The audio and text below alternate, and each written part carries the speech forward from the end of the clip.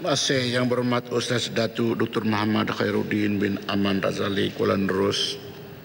Terima kasih Tuan Sri Speaker. Soalan saya nombor 6.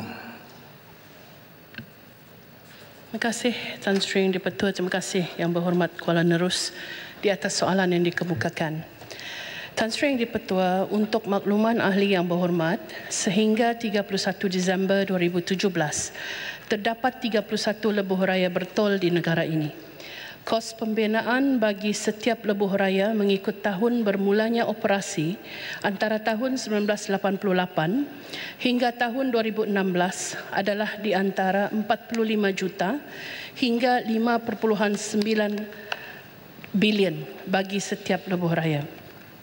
Manakala kos operasi dan penyelenggaraan tahunan berdasarkan kos semasa tahun 2016 pula adalah antara 6.82 juta hingga 1.5 bilion bagi setiap lebuh raya yang perlu ditanggung oleh syarikat konsesi.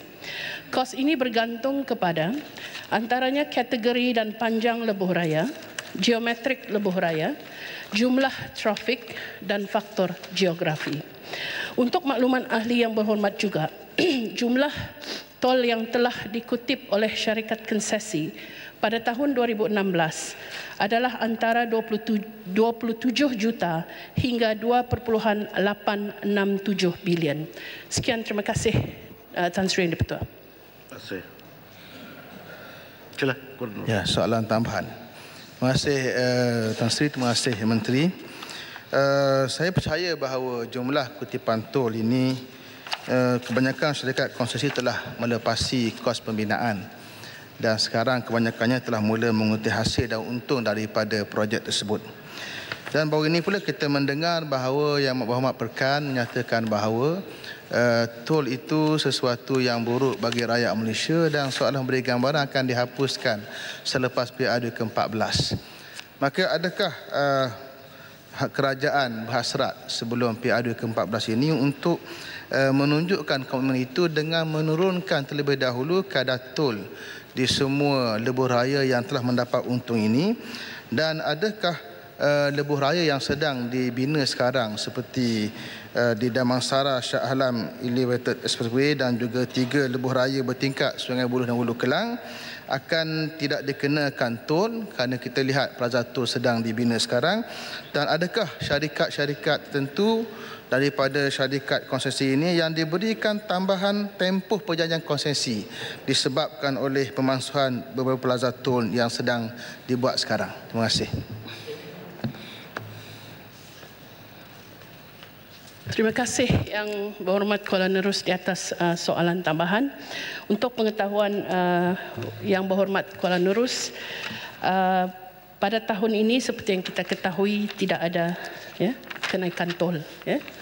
Dan uh, bagi menjawab secara terperincinya Tan Sri Yang Dipertua, uh, secara dasarnya tuntutan uh, ke arah menjadi sebuah negara maju, keperluan pertumbuhan ekonomi serta kemampuan keuangan kerajaan, kaedah pengswastaan digunakan di mana perlu uh, untuk memastikan pembinaan infrastruktur lebuh raya dapat dilaksanakan bagi memenuhi keperluan rakyat dan juga negara. Sebagaimana kita maklum, bagi mewujudkan lebuh raya yang berkualiti dan moden yang berhormat, ia akan melibatkan kos yang amat tinggi. Justru dasar untuk menggalakkan penyertaan pihak swasta masih diteruskan supaya dana kerajaan boleh disalurkan bagi keperluan lain yang lebih mendesak seperti pembinaan hospital, pendidikan dan kebajikan yang melibatkan rakyat secara keseluruhan yang berhormat. Walaupun dasar pengswastaan sejak 1988 diteruskan, Kerajaan Barisan Nasional pada masa kini telah banyak melaksanakan penambahbaikan terhadap terma-terma dalam perjanjian konsesi bagi memastikan keperluan rakyat dapat dipenuhi kepentingan kerajaan dapat dipelihara pada masa yang sama berlaku adil kepada syarikat konsesi berbanding dengan terma-terma perjanjian di bawah legasi kepimpinan terdahulu. Sebagai contoh, diwujudkan klausa perkongsian hasil tol dengan pihak kerajaan apabila melebihi jumlah unjuran trafik exit clause yang memperuntukkan sekiranya pihak syarikat konsesi mencapai IRR perjanjian konsesi boleh ditamatkan lebih awal dan klausa toll review mechanism level of service penetapan KPI dan lain-lain diwujudkan. Yang berhormat ya. Kalau sebelum ni kita tak ada ya klausa-klausa ataupun terma-terma sedemikian.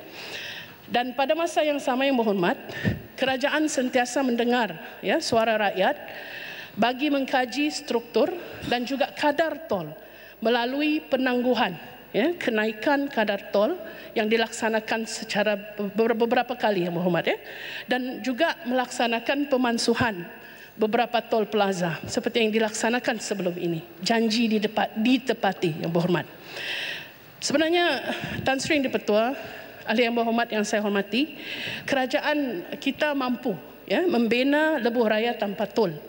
Tetapi ianya dilaksanakan secara berperingkat dan sudah tentu akan mengambil masa mengikut kemampuan keuangan kerajaan. Seperti contoh lebuh raya Pen Borneo di Sabah dan Sarawak dan lebuh raya Central Spine Road atau CSR yang melalui Pahang ke Kelantan.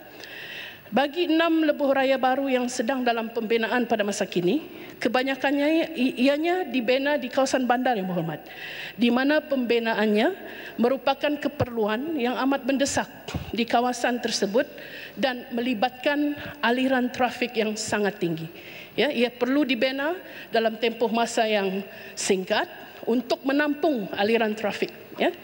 Dan adalah tidak adil sekiranya kerajaan memperuntukkan sumber keuangan yang terlalu tinggi ya bagi lebuh raya-lebuh raya ini yang mana ia hanya memberi manfaat kepada segelintir penduduk berbanding dengan keseluruhan penduduk dan sebagai sebuah kerajaan yang bertanggungjawab Tan Sri Yang Dipertua, sumber keuangan kerajaan hendaklah diagihkan secara saksama ya mengikut keperluan rakyat secara keseluruhan. Pada masa yang sama, kerajaan juga mengimbangkan ya uh, pembangunan infra yang lain yang berhormat. Contohnya MRT yang dibina ya untuk untuk melihat kepada uh, uh, sistem perhubungan yang jauh lebih baik.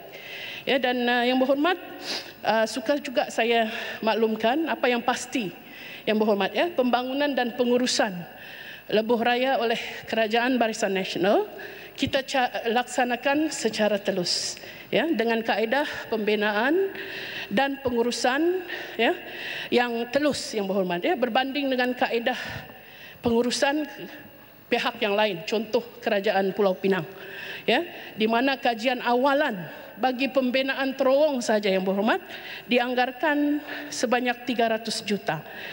Malah sehingga kini saya difahamkan laporan kajian keboleh, keboleh laksanaan projek tersebut juga masih belum dikemukakan kepada kerajaan persekutuan. Ketidaktelusan ini yang Muhammad sudah pasti akan merugikan rakyat. Jadi kita uh, lebih bertanggungjawab terutama sekali dalam pengurusan keuangan kerajaan. Itu saja Tan Sri yang dipertua. Kulai, Hari Wanita.